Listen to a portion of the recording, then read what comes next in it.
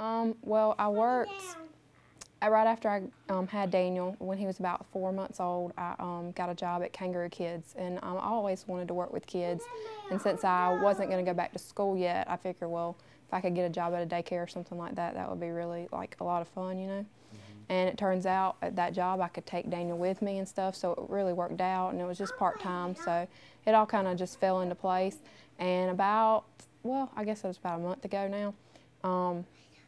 We went out of business, so I don't have a job anymore. It's really hard financially right now. Um, and with Derek being in school, and he, he tries to like help his dad. His dad's an electrician, and he tries to help his dad where he can and stuff to make extra money. But with him being in school, that kind of consumes all his time and stuff. And um, and with, right now, with the way things are, nobody's hiring anybody, you know, until you know the beginning of the year. So it's just been really hard trying to um, figure out a way, especially like for Christmas and stuff like that. So we actually, um, Daniel has been on Medicaid since he was born. Um, and I got on Medicaid right after I found out I was pregnant. Um, we were not, I didn't have any insurance up until then um, because once I graduated, I was actually off my mother's insurance. So um, it kind of for about, I guess about a six, seven month period there, I didn't have any insurance at all. Well, when I first found out I was pregnant, we went to the health department because that's where I was going for my, um, like my, I guess it's called family planning for birth control and that kind of sort of thing. And they're actually the ones that direct, directed me into the way of Medicaid. And I actually had a form of Medicaid while I was doing my family planning, but that's all it paid for was like for birth control and women visits and stuff like that. But then they put me on um, medic, full Medicaid, which covered my OB care and stuff. And um, it actually really helped because I don't know how we would have paid those bills if, you know, if that hadn't been there. I mean, I knew about Medicaid, um, but because I had always been on my mom's insurance because it was always offered through her work, you know, I had never had to be on any other different kind of, you know, insurance. So, and actually, you know, I learned a lot of things from my mom about it because she works in the hospital and stuff, so she knew a lot about it. So she actually helped me learn more about it and things like that. And they also give you a big packet and stuff usually when you go and you know apply and stuff and get approved. So when after he was born, he um, for a while he was you know he he's never really had any problems like serious problems. Um, and then he was born in May, so he was born in the summer. And then when it came wintertime, he started having ear infections a lot. So he was in and out of the doctor, having to take antibiotics and that kind of thing. And then he continued to have them. And just about, I guess, about a month and a half ago now, he actually ended up having to have tubes put in his ears. And that's like putting a down payment on a car. So it's really expensive. And um, so that really helped having Medicaid because we probably would have went in debt if we had, you know, because he'd had to have it done, you know.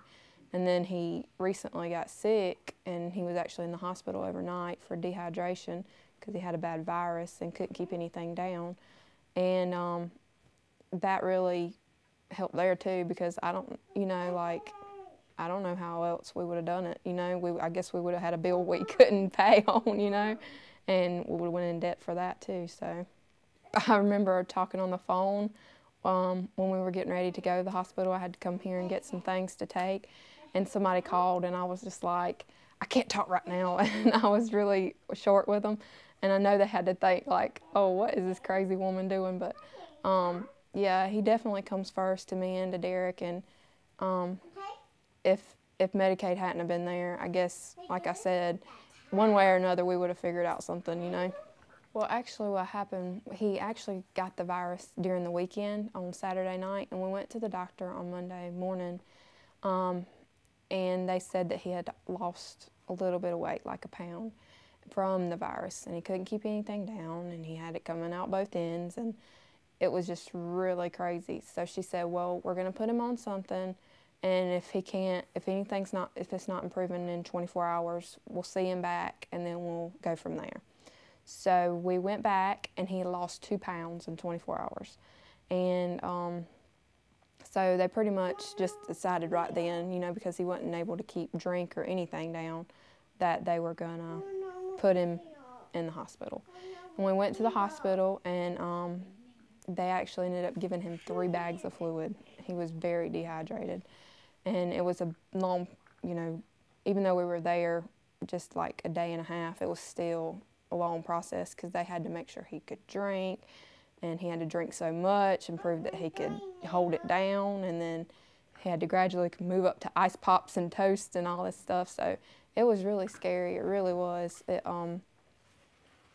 It was an eye opener, I guess, because when you have a child that, even though you have the Medicaid there and then they're fine, and then all of a sudden something like that happens, and it was really serious. Like if he had went a long time like that, he could have really hurt him. So if if we didn't have Medicaid, we would have just, I guess, took out a loan or I don't know, begged, borrowed, and stealed because you know he he comes first. So even if we didn't have Medicaid, at least you know he has it and he's taken care of. Like I said, for him being so healthy up until this point, you know, even though he had those ear infections here and there or whatever, like that was just going to the doctor. It was never an emergency and needing to go to the hospital. And um, I just like I don't know what re- really I don't know what we have done would have done if you know we didn't have insurance. I guess you know we probably would have treated him outpatient or whatever, but we would have figured out something. You know, everybody's gonna have their um, moments when when they need. You know, everybody gets sick, um, but then there are people that are trying and trying to do good things and make a living and they don't always make enough to have regular insurance. So, I mean, I just think that Medicaid really helps those people that really do need it, you know? And um, I know that there are people that abuse the system, and I don't think that that's right, but um, I just really think that even if it's for the kids, at least, when especially if they need the attention, you know, they're getting it. It's not always, um, you know, this person because, you know, they they're a drug seeker or they're this or they just have endless problems and they want to, you know, be able to go to the hospital anytime they want to so that they can, you know, get anything and anything they want. It's it's normal everyday people, you know. I mean, I know older people that have to have Medicaid and Medicare and stuff like that, you know, like, and they worked all their lives and they haven't, you know, so, I mean, it's, it's really, it's an eye opener when you see people that work their butt off and then they don't have anything to show for it, you know. Yeah. I just think it's really important for people to know that um, it's not always, you know, the little man or whatever. It's it's everyday people and that you know it doesn't just help adults it helps kids and that's the most important thing the kids and um, like i said if, if it wasn't for medicaid i don't know what we would have done for daniel so i just think it's really important for the kids at least you know to have have something there don't just think about the bad things that you've seen come out of Medicaid. Don't just think about the people that you've seen use it and abuse it. Think about the people that you haven't seen, the the families that are working to be in school and to better themselves, and they're just using it for a couple years just to get on their feet, and then they'll be productive members of a society, you know, and then they'll be supporting other people, you know, to be on Medicaid, you know. So just, I just think that that's really important because it's a chain, you know. It just keeps going. So.